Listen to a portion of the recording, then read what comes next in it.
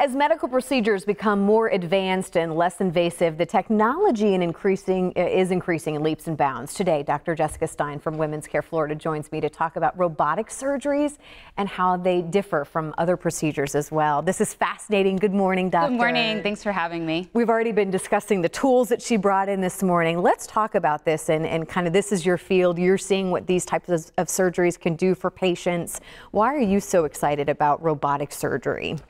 Well, you know, robotic surgery is really um, one of the major reasons that I love doing what I do mm-hmm. every day as a GYN oncologist.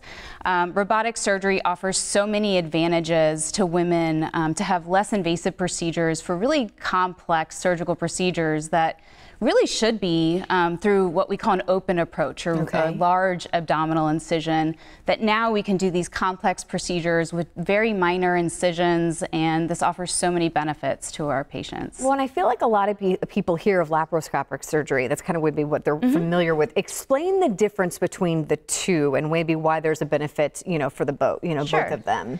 Yeah, so um, laparoscopic surgery would be where the surgeon actually places some small incisions on the belly. Okay. And then that surgeon is going to put um, instruments inside the abdomen, okay. and then they're going to stand next to the patient and manipulate those instruments. Okay. So I actually brought um, a laparoscopic instrument here to show you today okay. what that looks like.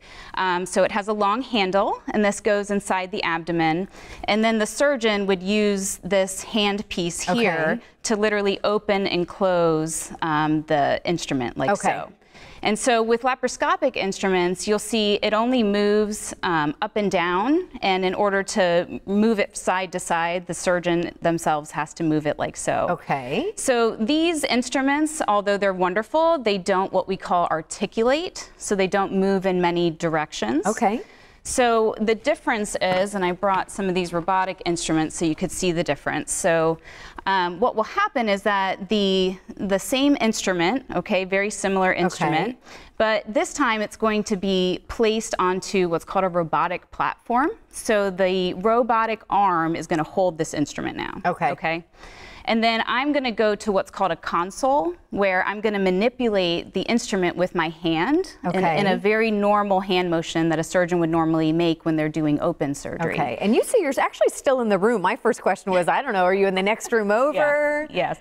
So technically speaking, you could be in the next room. So it was actually um, developed robotic surgery um, for purposes of the military. So ah. you could actually uh, remotely operate on a patient. Wow. Um, so you can be outside the room, but actually the consoles that we have are, yeah. are usually inside the room. So explain the procedures that you're generally doing with the robotic surgery. What is what's the most typical kind of mm-hmm. case? Mm -hmm. So generally speaking, um, we can do uh, what are called benign surgeries. Okay. So these are non-cancer surgeries uh, where you could do anything from remove a cyst on the ovary mm -hmm. to hysterectomy.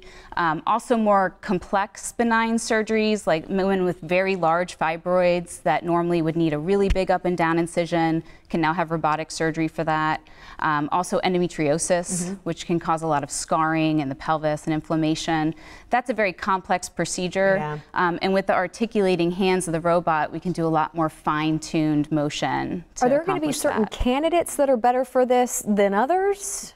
Yeah, absolutely. So I think it's important to tell patients, you know, you want to sit down with your surgeon. Okay. Well, that's um, what I was going to ask next as we get ready to close. What right. do you need to be asking your doctor? Yeah, so you definitely need to talk to them about your condition, why you're going to be having surgery. Those are probably the most important yeah. things to start with. Then what are some of the methods that ways or that surgery can be performed? Um, should it be performed robotically or is it better to have an open surgery? You know, I think a lot of women are told, for instance, they can't have robotics because mm -hmm. they've had multiple surgeries in the past. Um, but the, the reality is that criteria is going to change from surgeon to surgeon. So whereas, you know, I do a lot of surgery in women who have had so many surgeries in the mm. past, um, some surgeons may limit that. So I yeah. think it's that's a very important question to ask.